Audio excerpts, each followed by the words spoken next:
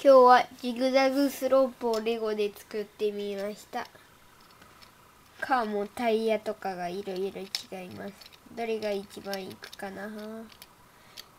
一番。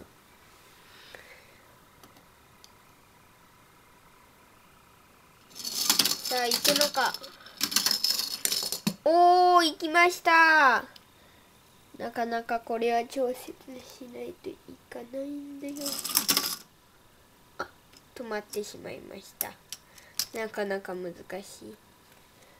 さあ次。3番目。いくぞ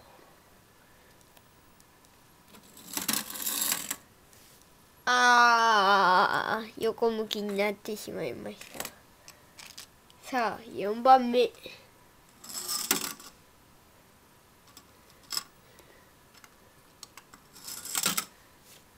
全然一番失敗しまくって多分これは完全にダメですね。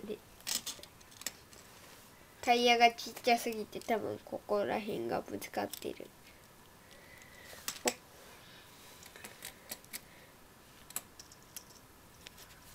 さあもう一回挑戦だ。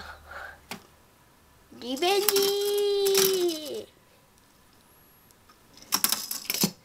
いった。では最後にもう一台。リベンジ行きました。他の動画も見てね。バイバーイ。